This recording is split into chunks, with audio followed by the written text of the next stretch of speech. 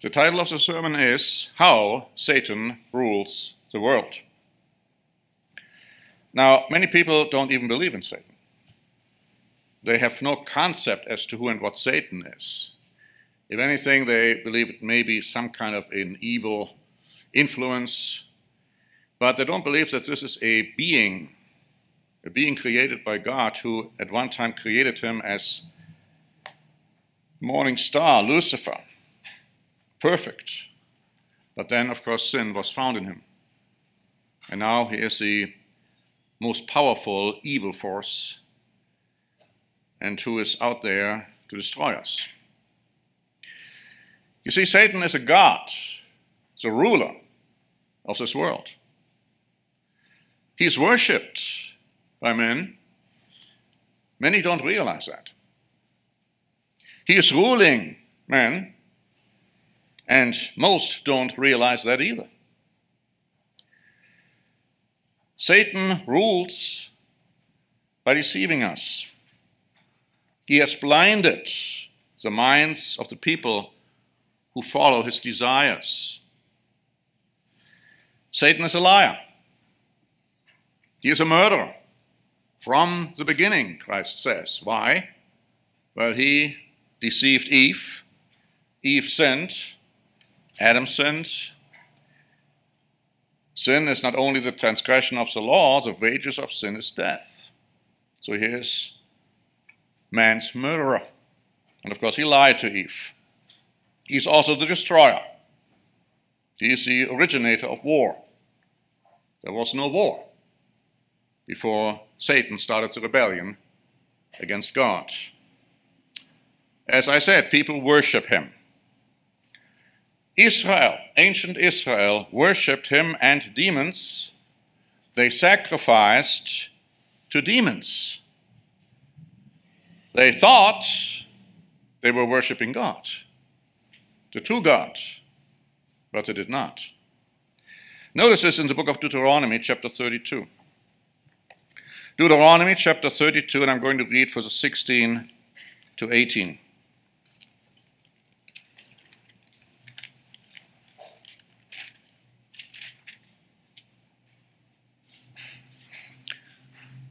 And there we read this. Verse 16 They provoked him to jealousy with foreign gods. With abominations, they provoked him to anger. They sacrificed to demons, not to God. To gods they didn't know, to new gods, new arrivals that your fathers did not fear. Verse 18 Of the rock who begot you, you are unmindful and have forgotten the God who fathered you. But this is not the only passage. It's actually later on quoted by Stephen in the book of Acts. But also, let's turn to Psalm 106. And as I said, I believe most Israelites had no idea that they were doing that. Psalm 106, verses 35 to 38.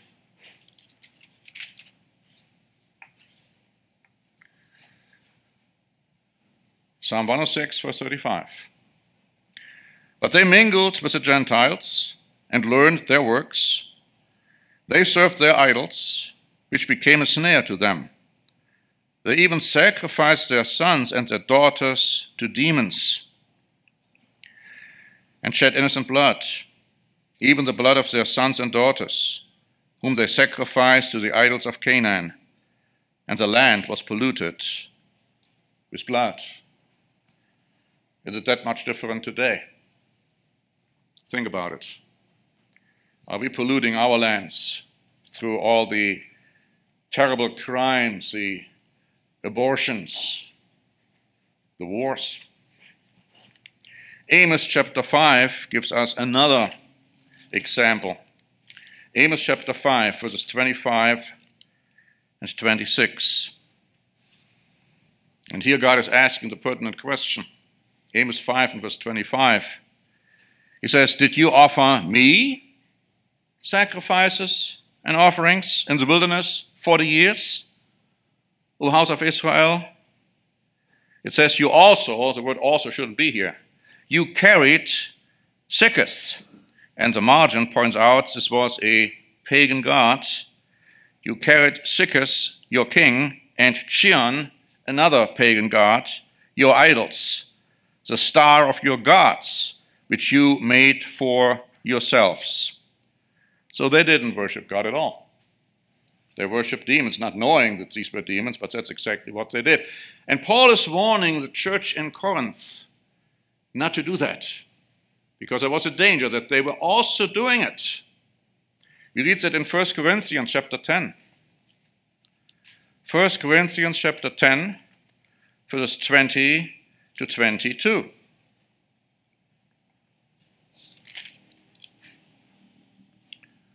He's talking about not the Passover, he's talking about something which looked like the Passover. And I think I don't have to go much further to explain what he is referring to here. And he says in verse 20, But I say that the things which the Gentiles sacrifice, they sacrifice to demons and not to God. And I do not want you, referring to the church here, the church members, to have fellowship with demons. You cannot drink the cup of the Lord, the wine, and the cup of demons, something looking similar. And you cannot partake of the Lord's table and the table of demons. Or do we provoke the Lord to jealousy? Are we stronger than He? A strong warning to the church at Corinth at the time, a strong warning to the church of God today because the danger obviously is still there. We find in prophecy that people, even in the future, will continue to worship demons.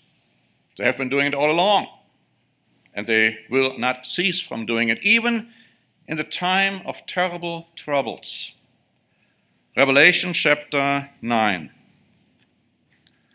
Revelation chapter 9 verses 20 to 21.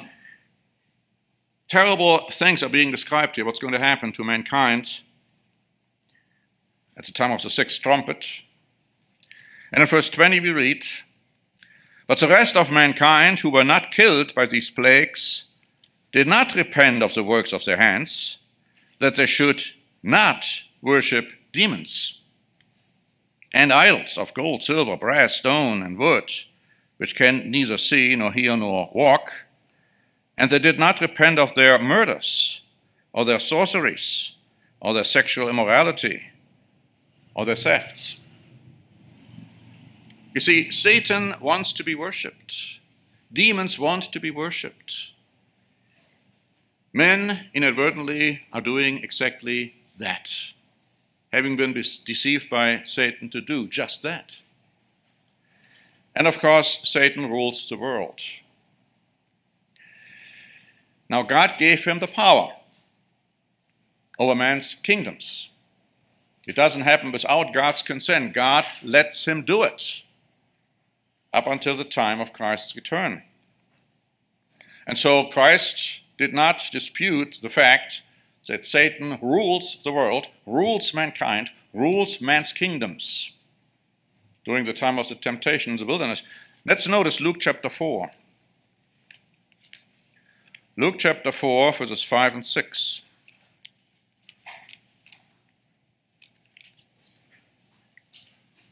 Then the devil, taking him up on a high mountain, showed him all the kingdoms of the world, all of them, without any exception, in a moment of time.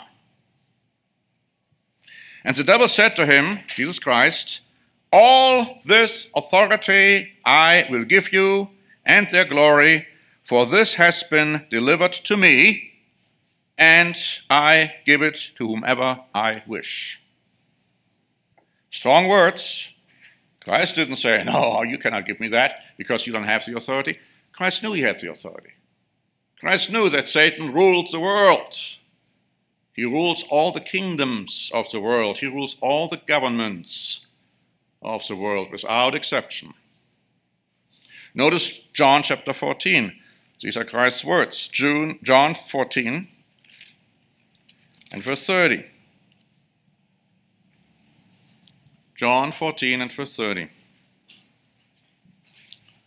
Christ is telling his disciples, I will no longer talk much with you, for the ruler of this world is coming, and he has nothing in me.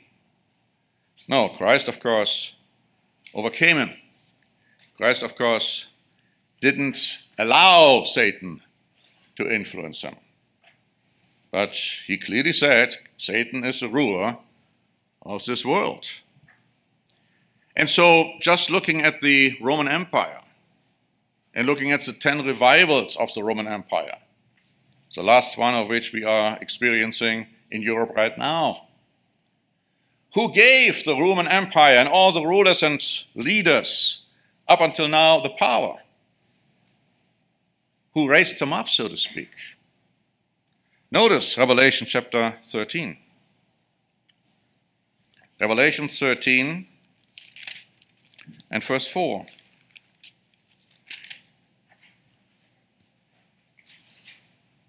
Here, of course, the Roman Empire is described with its ten revivals. And it says, And so they worshipped the dragon, another symbol for Satan, who gave authority to the beast the B is talking about the entire empire, its revivals, and of course, the last representative. All of that included. It is Satan who gave the authority to the beast, and they worship the beast, saying, Who is like the beast, and who is able to make war with him?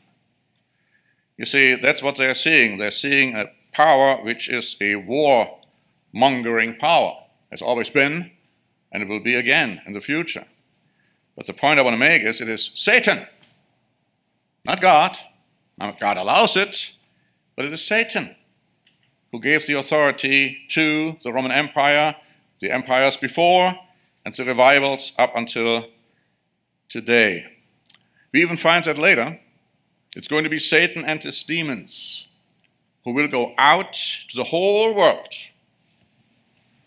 together, all of them, all the people, all the kingdoms, which will still exist at that time, at Armageddon in order to fight Jesus Christ. We read that in Revelation chapter 16, verse 13 to 16. Revelation 16 and verse 13. And I saw three unclean spirits, like frogs, coming out of the mouth of the dragon, Satan the devil, and out of the mouth of the beast, that's the last representative now, the final leader, and out of the mouth of the false prophet, a religious leader, who's going to walk and work hand in hand with the beast. Verse 14 For they are spirits of demons, performing signs, which go out to the kings of the earth and of the whole world to gather them to battle of the great day of God Almighty. And then Christ is giving this warning in verse 15 Behold, I am coming, I am coming as a thief. Blessed is he who watches and keeps the garments, lest he walks naked and they see his shame. And then in verse 16, and they gathered them together to the place called in Hebrew Armageddon. See, it's not the place where the battle is going to take place, that's the place where they will be gathered and then they will move towards Jerusalem to fight against Christ who has returned or will return at that time. Again, the point is Satan is in control, demons are in control. They are ruling the world. It's not God. It's not God. It's not God's world. There's this hymn, an old hymn. This is my father's world. And I was told Mr. Armstrong would jump up and down that's the title of that hymn, because it's not God's world. Now, I grant you that. Some leaders are more evil than others, that's very clear. Think of Putin, think of Erdogan, think of Kim Jong un, the leader of North Korea, think of Xi Jinping, the leader of China, think of Ali Khamenei, the leader of Iran, and of course, the list may go on. Yes, of course, some are worse than others. But the point is, Satan gives his power to whoever he wants without exception. And I mean without exception. We probably heard that Donald Trump, when he was president, was talking about the fact that he was the anointed one. I heard him say this. He was looking up to heaven, raising his hands. I am the anointed one. Yeah, but if he is the anointed one, who anointed him? And then also, what about the idea if God put Trump in office, he also did put Biden in office, and he put Obama in office, and he put Bush in office, and the list is endless. I found this comment by a pastor on the internet. That's what he wrote. Dear friends, God has a plan. The plan is that Joe Biden would be the 46th President of the United States. God put him there. While we never understand God's plan as it unfolds, Scripture is clear that God is sovereign over every detail, even the appointment of our new president. But is that true? Is that what the Bible tells you? Or does the Bible tell you something entirely different? What does God say about our nation, the United States of America today? Notice the book of Hosea, chapter 8. Hosea chapter 8 and verse 4.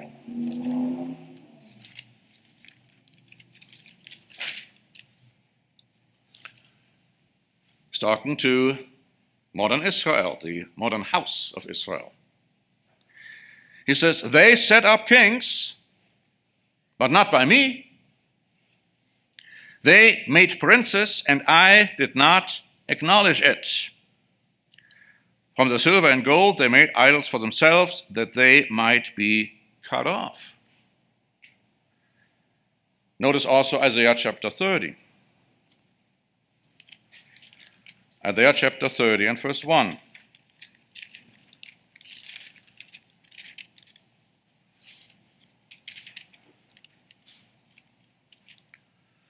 Woe to the rebellious children, says the Lord, who take counsel, but not of me, and who devise plans, but not of my spirit.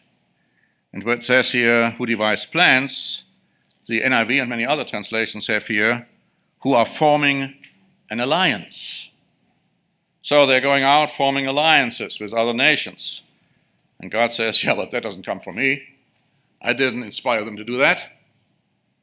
They voted for presidents and governmental leaders. And he says, Yeah, but I didn't inspire them to do that.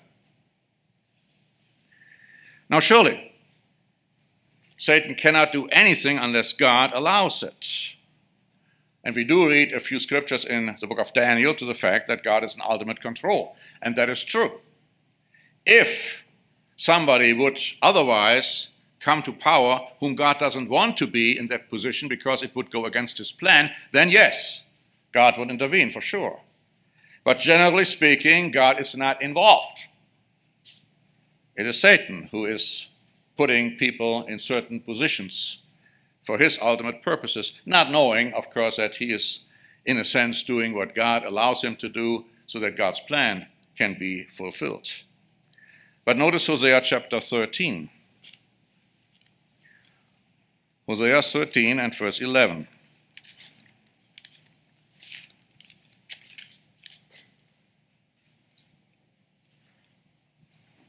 Here is one example where God directly got involved. He says, I gave you a king in my anger, and I took him away in my wrath. Some say this is referring to Saul. I'm not sure that that is true because God didn't give Saul to the Israelites in his anger. No, it's probably talking about somebody, perhaps even at the present time, at our time. We'll have to see how this is going to play out. So sometimes God gets involved, but overall, He's not. This is Satan's world. And nobody is better than others. Now, I've just explained, and there are some leaders who are worse than others, that's true, but that doesn't mean, oh, then we have, let's say, the righteous United States of America, and you have the evil Germany. I'm saying this for a purpose because that's what you always hear, especially when you talk about World War II.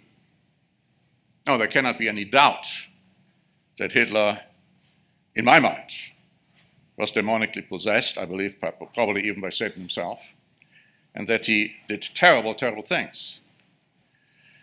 There can be no doubt that Germany started World War II. But at the end of the war, you might have heard about this, the city of Dresden was totally destroyed by the Americans in an insane attack, in retaliation. The city was completely leveled. Many other cities were completely leveled. There was no reason for that at all. You see, Satan was behind all this because he is behind every war. No war fought by human beings is righteous. Not one. And another satanic lie, another satanic concept with which he rules people, with which he deceives people, is the idea that human wars can ever bring peace. The answer is they cannot, they will not. And the answer is no human being is righteous in the eyes of God who is part of this world. Not one. Not one. Not one leader, not one who is following the leader. It's a wrong kind of concepts. Notice Romans chapter 3. And let's look at this passage again and let's see what the Apostle Paul is telling us here. Romans chapter 3, beginning in verse 10, and I'm reading all the way up until verse 18. Romans 3 and verse 10. As it is written, there is none righteous, no, not one. There is none who understands. Unless God opens your mind, you cannot understand. There is none who seeks after God. On your own, you can't. God must see to it that you seek Him by opening up your mind. They're all gone out of the way. They have together become unprofitable. There is none who does good, no, not one. Their throat is an open tomb. With their tongue they have practiced deceit. The poison of asps is under their lips, whose mouth is full of cursing and bitterness. Their feet are swift to shed blood. How true that is today. Destruction and misery are in their ways, and the way of peace they have not known. There is no fear of God before their eyes. Now, that's a strong indictment. But the world is hopelessly divided. Now, how can this be? How can this be when Satan rules all the kingdoms of this world?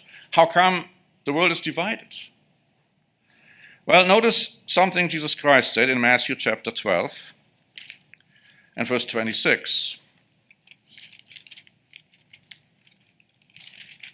Matthew 12 and verse 26. Now, here he was accused of casting out demons through Satan. And he says, if Satan casts out Satan, he is divided against himself. How then will his kingdom stand? In Mark chapter 3 and verse 26, a parallel passage, notice how that's being rendered. Mark 3 and verse 26. Here Christ is quoted as saying, If Satan has risen up against himself and is divided, he cannot stand, but has an end. And then finally in Luke chapter 11, another parallel passage, and here I want to take the entire time to read also the context. Luke 11, beginning at verse 14. Luke 11 and verse 14. And he was casting out a demon, and it was mute. And so it was when the demon had gone out that the mute spoke, and the multitudes marveled. But some of them said, He cast out demons by Beelzebub, the ruler of the demons. Another word for Satan, the devil, obviously, the ruler of the demons. And others, testing him, sought from him a sign from heaven. But he, knowing their thoughts, said to them, Every kingdom divided against itself is brought to destruction, and a house divided against a house fails and falls. If Satan also is divided against himself, how will his kingdom stand? Because you say, I cast out demons by Beelzebub.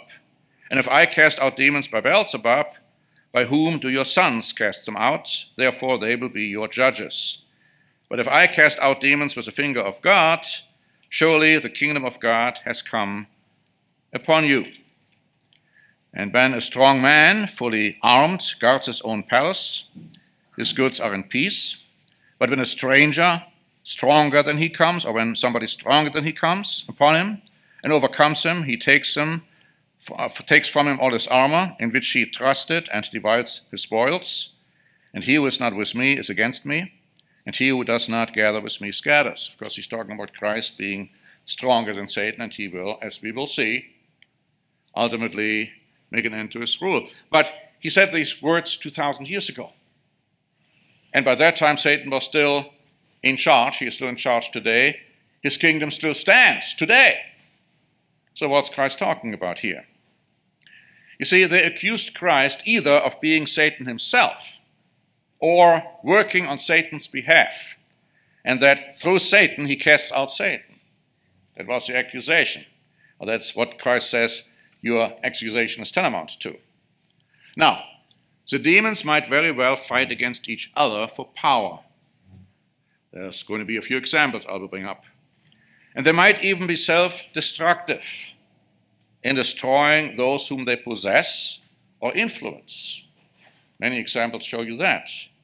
But here's the point they're all united in their rebellion against God and in their desire to kill all of God's people and even all of the Jews. In that way, Satan's kingdom stands for now. They bring persecution on God's people in an attempt to destroy them. They are united in that. We also read that Satan and the demons will bring all the kings together at Armageddon to fight Christ. They are united in that. In Revelation chapter 12, let's quickly look at that. And that is the way how Satan rules. That is the way what he does. Revelation 12 and verse 13. Revelation 12 and verse 13. When the dragon saw that he had been cast to the earth, he persecuted the woman who gave birth to the male child. Verse 17. And the dragon was enraged with the woman, and he went to make war with the rest of her offspring, who keep the commandments of God and have the testimony of Jesus Christ. Also, notice chapter 13, verse 7. And it was granted to him to make war with the saints and to overcome them. And authority was given him over every tribe, tongue, and nation. That's talking about the beast. Remember the beast which had received power from Satan. And as Satan has authority over all the world, so now this beast is going to have authority given by Satan over all the world, persecuting the saints. Let's go back to chapter 2 and verse 10. You might say, Where, where's God in all of this? God knows full well what's happening. And He lets sometimes things happen also when it comes to persecution of His saints to strengthen us, to try us, to test us, to see out of what metal we are made. In Revelation 2 and verse 10, He's talking here to the church in Smyrna. Do not fear any of these things which you are about to suffer. Indeed, the devil is about to throw some of you into prison, that you may be tested, and you will have tribulation ten days. Be faithful until death, and I will give you the crown of life. Be faithful until death, is what Christ is saying. Christ is on the throne, his throne here on earth. God lets him to be here because God wants to see whether we are willing to stand up for God in light of persecution, in light of Satan's temptations. And he also wants to make sure we understand what God's plan is. And God's plan is not that we are today have to go out there to convert the masses. That's what many Christians, in quotes, will tell you. Or that is the only day of salvation today. So we have to go out. We have to convert everyone. Because if we don't convert them, they're going to end up in hell. That's another satanic lie. Another satanic lie. Because you see, this endeavor is doomed it is predestined to failure. It can never happen. It can never work out successfully. Let's think about it a moment. Do you think you could convert Muslims today? Now, I'm not talking about a few exceptions, I'm talking about as a whole. You think you can convert the Hamas terrorists? There is so much deception out there, we heard about it already in the announcements. Oh, they are freedom fighters. No terrorists, freedom fighters, liberators. I was receiving a memo the other day after my standing watch program in German, and somebody said, Oh, Hamas, eh, these are good people. They don't kill anyone. They don't kill babies. They don't kill, ch kill children. That's all fake news. Deception galore. Now, Iran was formerly called Persia. And at the time of Daniel, a very powerful demon ruled Persia. Let's go to Daniel chapter 10 and let's read verse 13. Daniel 10 and verse 13.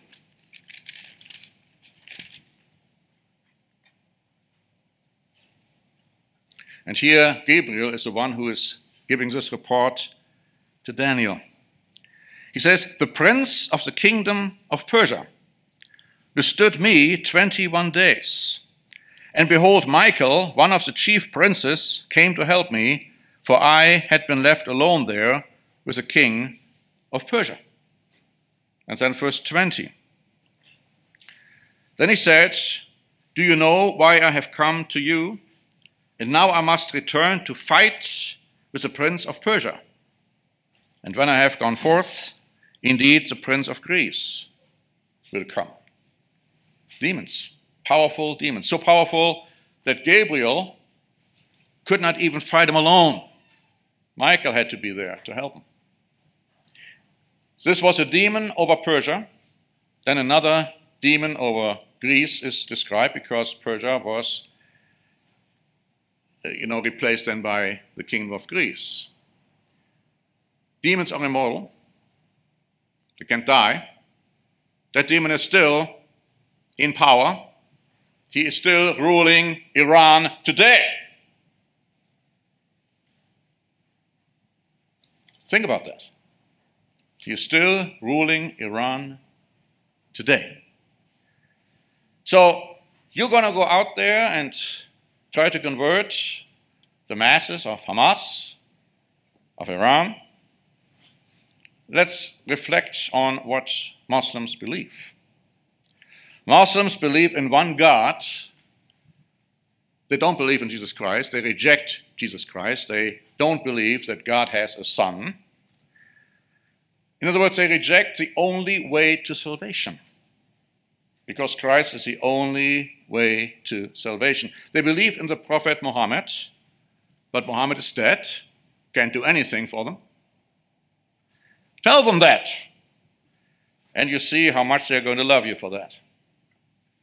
We have a free booklet Middle East and African Nations and Bible Prophecy.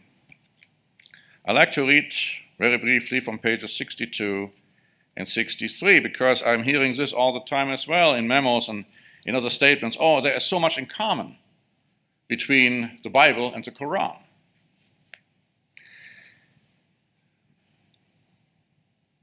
We say in here, so that there is no misunderstanding, Jesus is quite differently described in Muslim thought and the Quran as the Jesus taught in the Holy Scriptures of the Bible. Please note the following comments quoted from the Wikipedia Encyclopedia showing the irreconcilable differences between Muslims and Christians' beliefs pertaining to Jesus Christ. And here it goes. The belief in Jesus is required in Islam and a requirement of being a Muslim. Did you know that? They got to believe in Jesus. The Quran states that Jesus was born to Mary as a result of virginal conception. Jesus was not crucified, but instead he was raised up by God unto the heavens. This raising is understood to mean through bodily ascension. Jesus is considered to have been a Muslim. Islam rejects the view that Jesus was God incarnate or the Son of God, that he was ever crucified or resurrected, or that he ever atoned for the sins of mankind. The Quran states that Jesus was created from the act of God's will. The Quran compares this miraculous creation of Jesus with the creation of Adam. Islamic texts categorically deny the idea of crucifixion or death attributed to Jesus by the Bible. There has been unanimous agreement amongst Islamic scholars in denying the crucifixion. Muslims believe that Jesus will return at a time close to the end of the world. Jesus' descent will be in the midst of wars fought by the Mahdi, the Redeemer of Islam, against the Antichrist and his followers.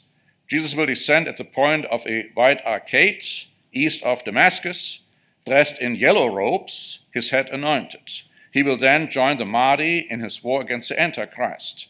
Jesus, considered as a Muslim, will abide by the Islamic teachings.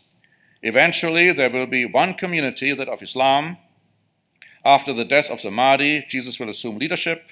Jesus' rule is said to be around 40 years after which he will die. Muslims will then bury him in the city Medina in a grave left vacant beside Muhammad. Islamic texts regard Jesus as a righteous messenger of God rejects the idea of him being God or the begotten Son of God. According to Islamic scriptures, the belief that Jesus is God or the Son of God is the sole unpardonable sin. So, you tell the Muslims you're all to- totally, completely, utterly wrong here. What you believe is blasphemy, because that's what it is. You wait and see what they're telling you. The concept that you could go out and convert the masses today is absolutely stupid, ridiculous. Now, if it is true that Israel is right now in the process of killing many in Gaza in retaliation to the attack of Hamas on October 7, then that's also very wrong. There's no question that that could be justified. There might be debate as to the figures given, but that there are some, if not many, civilians, children, women who have been killed now through the quote unquote retaliation by Israel, there is no doubt about it. That's all wrong. But there's also a demonic twist in that the world now condemns Israel, the villain, and praises Hamas as a victim. And also the Palestinians. There's also this satanic deception that the Palestinians, and I just heard it the other day on CNN, oh, the Palestinians are just, you know, victims of Hamas. They're being ruled by Hamas. They're all totally opposed to Hamas. And they can't do any can't do anything about it. Because we have an article in the updates on that one. But I want to read another one, which was published on October 26 by Israel Today. Despite claims now being made by the majority of Gaza's population, desires peace and is being held captive by Hamas, Data and evidence collected over the past two decades consistently demonstrates the opposite. Hamas enjoys widespread support among Gaza's civilian population. And then this article gives all kinds of statistics and concludes the following. All available evidence indicates that approximately 60% of the Gaza Strip's population supports Hamas and its armed struggle against Israel. This support is expressed both in polls and in their active participation in the organization's terrorist acts. So, this idea, which is being propagated these days, that Hamas is really not appreciated by the Palestinians and you have to divide and differentiate between the two, is a satanic lie. See, that's how Satan rules mankind by spreading lie after lie after lie. We have to understand that today most people do not understand the truth. They cannot understand the truth. That's why it is totally useless to try to convert them. God has not called them yet for salvation. He has not called the masses of the Muslims and the Hindus and all the other religions and most of quote unquote professing Christians to salvation. And that's why they cannot understand the truth. You see, it would be totally useless to try to convert them because they are not going to be converted. They would refuse. Now, God and Christ knew from the beginning that the world would submit to Satan, that the world would sin, that Christ would have to come back to die for mankind, because there is no forgiveness of sin without the shedding of blood. And so in Revelation chapter 13 and verse 8, you find exactly that expressed. Revelation 13 and in verse 8.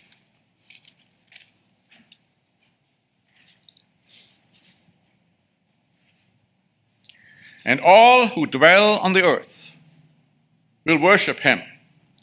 And it's talking about the beast. It's talking about that final leader. That's why it says him and not it. It's going to be a man. It's going to be a man of German, Austrian descent. I think it's German descent. I think the man is alive. He is preparing his coming behind the scenes. He may not know that he is a beast. But the point is this and all who dwell on the earth ultimately will worship him whose names have not been written in the book of life of the Lamb slain from the foundation of the world. The Lamb was already slain from the foundation of the world. It was already clear that when the world was created, Jesus Christ would ultimately have to come to die for mankind.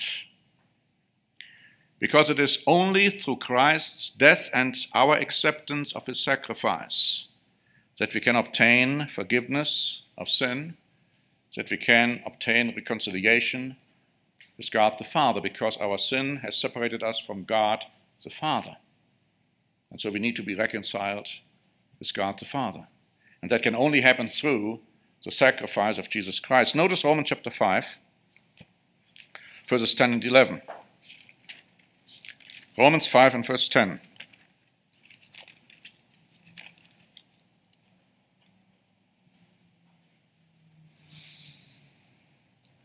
For if when we were enemies, we were reconciled to God through the death of his Son, much more, having been reconciled, we shall be saved by his life, because Christ is living his life in us once we have received the Holy Spirit. And not only that, verse 11, but we also rejoice in God through our Lord Jesus Christ, through whom we have now received the reconciliation. You could also say the atonement or the at one having become one with God the Father and Jesus Christ. But it is a process. It is a process of becoming one with God, of becoming literal sons and daughters of God the Father. And without Christ's death, we would still be God's enemies. We could never become his friends, his sons, his daughters. We could never understand by Jesus Christ's death is absolutely necessary for us to obtain salvation. And those who believe, like the Muslims do apparently, that it is an, the unpardonable sin to believe that, they don't understand what they're talking about. Hopelessly deceived by none other than Satan the devil. We are being reconciled with the Father today. Now, the world will become reconciled later, after Christ's return. And of course, we all celebrated the Day of Atonement. That's past insofar as the celebration is concerned, but it's still future insofar as what it symbolizes. Because the Day of Atonement pictures the event when the world is becoming reconciled with God the Father. When Satan and his demons will be removed from deceiving and ruling mankind. When their rule will have ended. When worshipping Satan and demons will have ended. Now, here comes another satanic deception. In fact, several. Several. Because, you see, on the Day of Atonement, in Old Testament times, the book of Leviticus talks about that, there were two goats chosen by lots. And one lot would be called for the Lord, or La Adonai, and the other lot was called for Azazel, or La Azazel. Now, of course, some translations, some Bible translations, when the word Azazel is used, they use the word scapegoat instead, a terribly wrong translation. Strike that out of your Bible, if you have it in there, and write Azazel on top of it. Has nothing to do with scapegoat. But you see, the first goat, this La Adonai goat, was offered as a sin offering. The second goat, the Azazel goat, was sent away alive in the wilderness. Now, it has been long understood in the past unless Satan's lies came in, even when it came to the church of God. But before those lies came in, it had been long understood that the La Adonai goat pictured Jesus Christ, the Messiah, the one who gave his life as a sin offering, as a sacrifice for all of mankind. And so the Passover, of course, points to our being selectively called by God at this point as the first fruits, but the Day of Atonement pictures the reconciliation of the entire world. When all of mankind will have the chance to accept Christ's sacrifice, when they finally obtain that knowledge, that understanding. But here's the satanic deception. Because it had long been understood in the church and also by many other commentators that the Azazel goat symbolizes Satan, the devil until some very bright intellectual know it alls came and said, no, no, no, this also refers to Jesus Christ. Absolute satanic blasphemy. The Azazel goat symbolizes Satan, the devil. Before the Azazel goat was sent into the wilderness, the high priest, now symbolic for Jesus Christ, laid both hands upon the head of that goat, confessing over it all the iniquities and transgressions of the Israelites. You see, Satan is responsible for sin, not for all sin. We could sin without Satan, but he has a lot to do with our sinning against God. You see, Christ died for man's sins and what man is and what man has become. And man, upon repentance, receives forgiveness for sins committed by man for which man is responsible. But Christ didn't die for Satan's responsibility and what Satan is and what he has become. Christ didn't die so that Satan could obtain forgiveness. The reason is Satan doesn't want to repent. He has committed the unpardonable sin. Talking about the unpardonable sin, it is Satan who has committed it, not those who believe that Christ is our only way to salvation. So that part of the sin for which Satan is responsible. That part is being placed right back on his head pictured now by the high priest placing his hands on the forehead of the Azazel goat. Now, let me just emphasize this. When the high priest places his hands on the Azazel goat and placing the sin Satan is responsible for on Satan's head, this has nothing to do with forgiveness.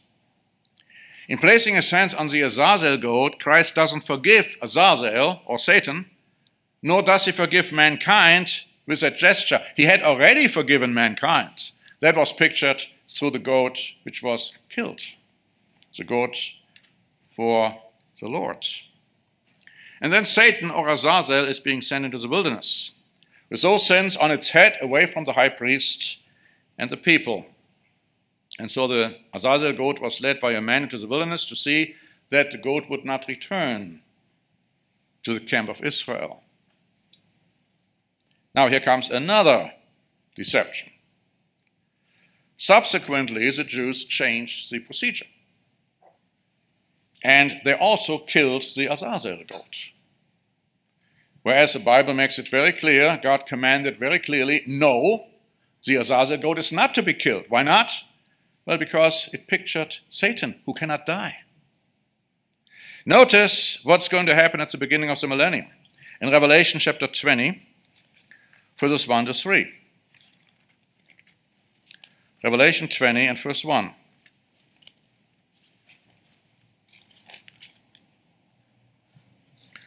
Then I saw an angel coming down from heaven, having the key of the bottomless pit and a great chain in his hands, And he laid hold of the dragon, that serpent of old, who is devil, the devil and Satan, and he bound him for a thousand years, and cast him into the bottomless pit, and shut him up and set a seal on him so that he should deceive the nations no more until the thousand years were finished.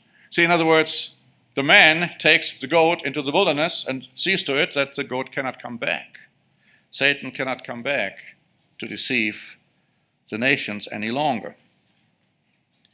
And that is how reconciliation between the world and God the Father is going to be accomplished. But you see, Satan knows that. Satan is very angry.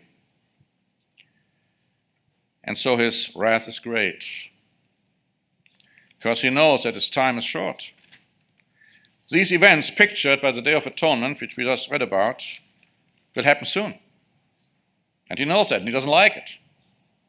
And so we read in Revelation chapter 12 and verse 9. So the great dragon was cast out, that serpent of old called the devil and Satan, who deceives the whole world. Now, again, he deceives the whole world. He deceives everyone, no exception, except for those whom God calls out of this error. These are the only exceptions. Otherwise, the whole world is deceived. It says, And he was cast to the earth, and his angels, the demons, were cast out with him. And then I heard a loud voice saying in heaven, Now salvation and strength and the kingdom of our God and the power of his Christ have become for the accuser of our brethren who accused them before our God day and night has been cast out and cast down. And they overcame him by the blood of the Lamb. You see, that's important, the blood of the Lamb. And by the word of the testimony. And they didn't love their lives to the death. And therefore rejoice, O heavens and you who dwell in them. Woe to the inhabitants of the earth and the sea, for the devil has come down to you, having great wrath, because he knows that he has a short time left. You can speculate whether what's being described here has already happened. The rebellion, which is of course here described, has already occurred, whether Satan is already thrown down on this earth, whether his time is very short, your guess is as good as mine, but if you look at the world and its condition, you have to say things are really getting bad. Worse than they've been for a long time. But that doesn't have to refer to you and to me. We can be the exception. We must be the exception. Because Christ has done something for us today which he hasn't done for the world yet, which he will. But he has freed us today already from Satan's power. Think about that. And let's read together Colossians chapter 1, verses 13 and 14. We don't have to be any longer under the power of Satan. Colossians 1, verses 13 and 14. The point is, he doesn't have to rule us anymore. We most certainly don't have to worship him or demons, that's for sure. Colossians 1, verse 13.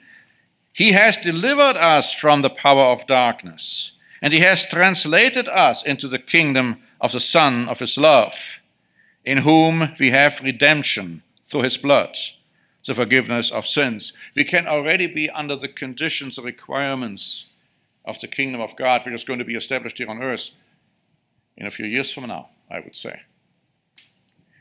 We have been set free. We have been delivered from Satan through forgiveness of our sins. Satan has no power over us anymore because through our sins we were his slaves, but we were delivered from sin and therefore are no longer Satan's slaves. Let's notice Hebrews chapter 2. Hebrews chapter 2, verses 14 and 15. Hebrews 2 and verse 14. Inasmuch then as the children have partaken of flesh and blood, he himself, talking about Christ, likewise shared in the same. In other words, he also became flesh and blood, that through death he might destroy him who had the power of death, that is, the devil, and release those who through fear of death were all their lifetime subject to bondage. Christ released us from the devil and his power because the devil had man enslaved. Man had become captured by the devil. Christ came to release man's captivity by paying the required ransom price, which was his blood. He set us free from Satan. He set us free from sin. We are no longer his slaves, but if we continue sinning, worse yet, if we go back into the world we came out of, we will become again those who are under Satan's rule. And unless we repent, Satan will have won. Notice 2 Timothy chapter 2. 2 Timothy chapter 2, verses 24 to 26. Here we're dealing with a situation where somebody did go back into the world, at least temporarily. Paul says, A servant of the Lord must not quarrel. In other words, let's not go out to those who left and try to convince them they have to come back and, you know, how wrong they are and all of that. That's not the idea of going after the lost sheep. That's a complete misunderstanding of what the Bible requires. The Servant of the Lord mustn't quarrel, but be gentle to all, able to teach, patient, in humility correcting those who are in opposition, if God perhaps will grant them repentance so that they may know the truth and that they may come to their senses and escape the snare of the devil, having been taken captive by him to do his will. Once again. Once again. And Paul is saying we should not become slaves of the devil again. And so we must be aware of Satan's devices. We must be aware of demonic wisdom. We heard about the wrong kind of wisdom before, earlier. Did you know that wisdom which is opposed to God is demonic wisdom?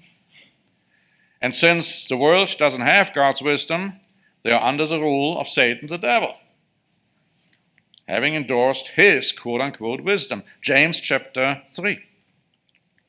James chapter 3, verses 14 and 15.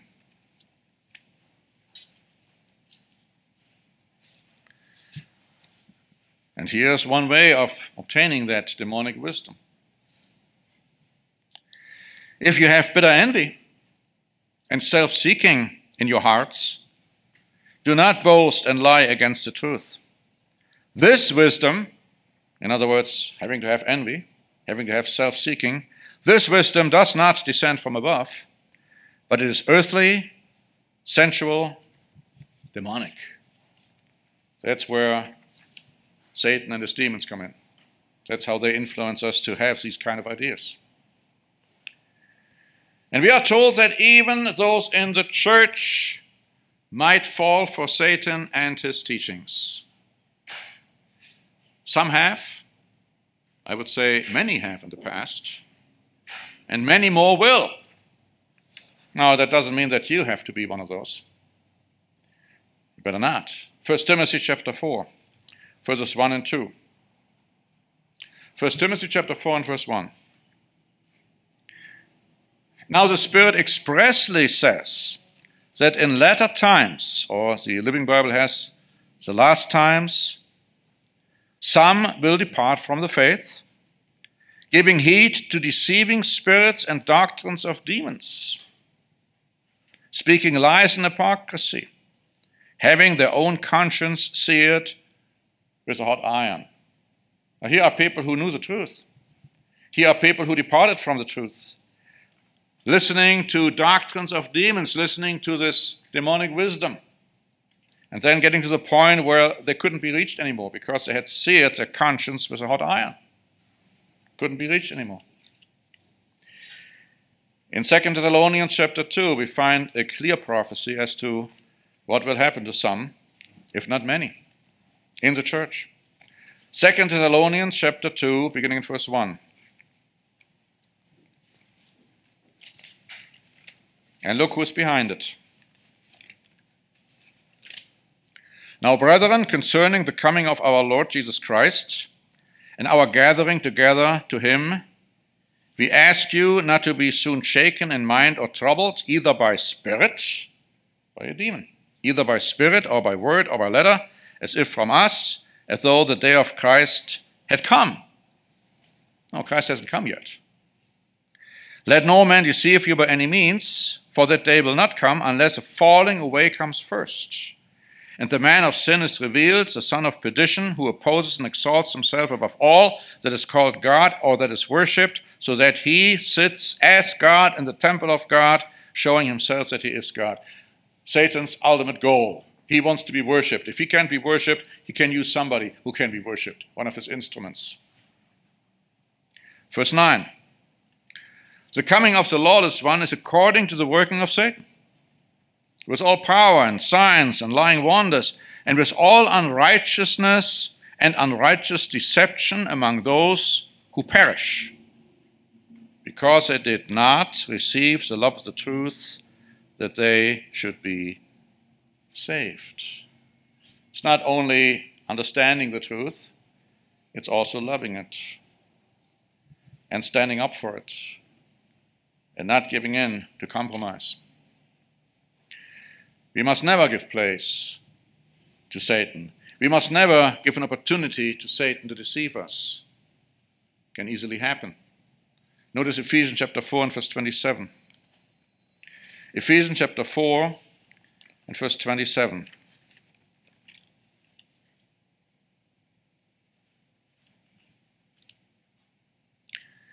Very clearly, a statement as short as it could be, nor give place to the devil. Paul is telling us, nor give place to the devil. How can that be? How can it happen? Well, of course, envy, self seeking is one way. But here's another one in Acts chapter 5, which happened to church members at the time. Acts chapter 5 and verse 3 because this famous story about Ananias and Sapphira who lied to the apostles, saying, Okay, we, are, we have sold this place for that much money, and it wasn't true, it was a lie. But in verse 3, Peter said, Ananias, why has Satan filled your heart to lie to the Holy Spirit and keep back part of the price of the land for yourself? See, it was Satan who inspired him to lie because Satan is a liar and the father of lies. And that's what he does. He's sowing the seed and lies. And we must resist Satan. We must sure we don't fall for it, no matter where the lie is and where it comes from. 1 Peter chapter 5. 1 Peter 5, verses 8 and 9.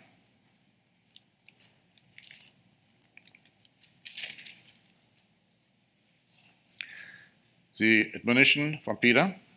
He says, Be sober, be vigilant, because your adversary, the devil, walks about like a roaring lion seeking whom he may devour. That's what Satan wants. He wants to devour whomever he can devour. And of course, this is talking about members in the church. He says, verse 9, resist him.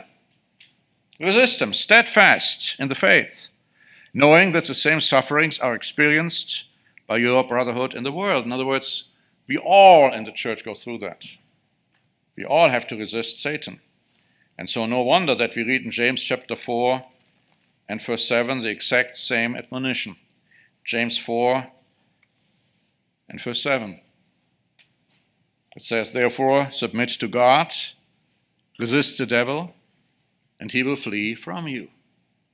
See, he will not have any power over us anymore once we submit to God and resist him. Saying, like Christ said to Satan, Go behind me, Satan. I'm not listening to you. I don't want to hear what you have to say.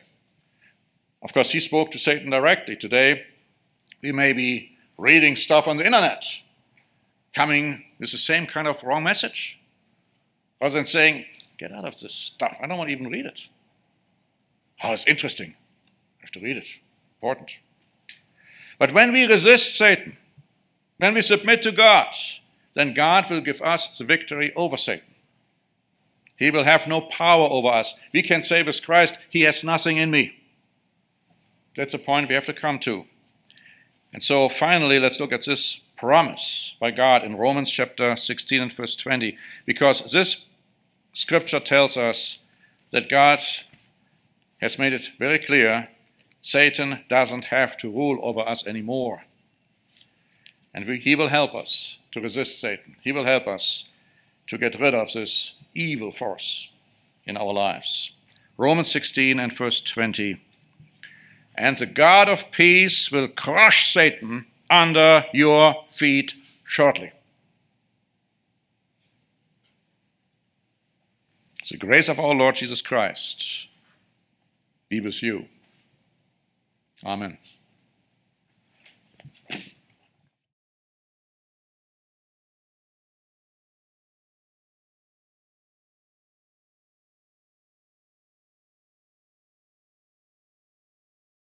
Bye.